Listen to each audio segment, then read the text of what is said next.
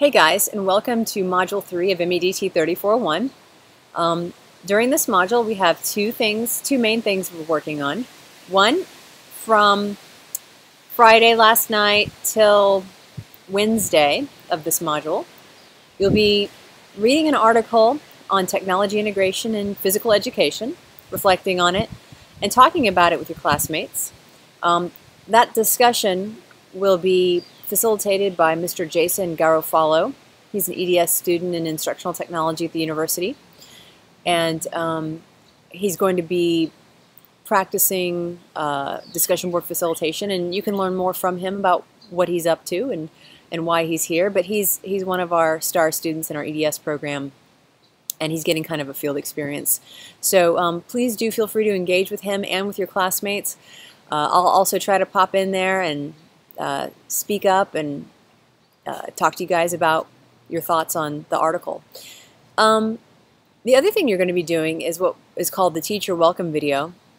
And uh, basically be, ma be making a professional video communication with your target audience. And um, you know, if you're if you're a teaching candidate, you'll be making a, literally a, a, welcome video for your uh, parents and students.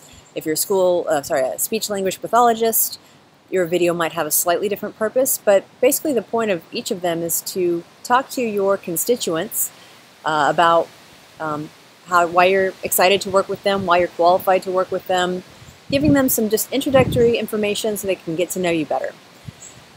Um, you know, we live in a technology mediated world and you need to be fluent in using these tools to communicate. So even in K-12 schools, even at the elementary level, this is completely normal and commonplace now. When I actually created this assignment probably five or six years ago, and at that time it seemed kind of cutting edge or like kind of weird. It's weird to think that an elementary teacher might need to make a video like that, but it isn't weird or strange anymore.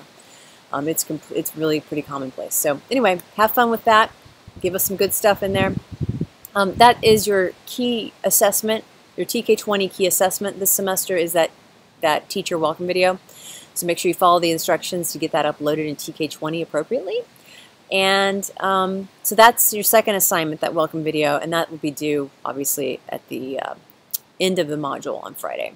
So be sure you're checking out my boring but important documents that I link on the welcome page of every module. Um, those will help keep you track and give you the big picture of what's going on. And that's it. I hope you're enjoying this wonderful weekend weather. It's kind of overcast right now, and it's actually kind of cool and breezy, and um, great time to be out on the porch making a welcome video. But anyway, uh, let me know what questions you've got, um, and I will see you online.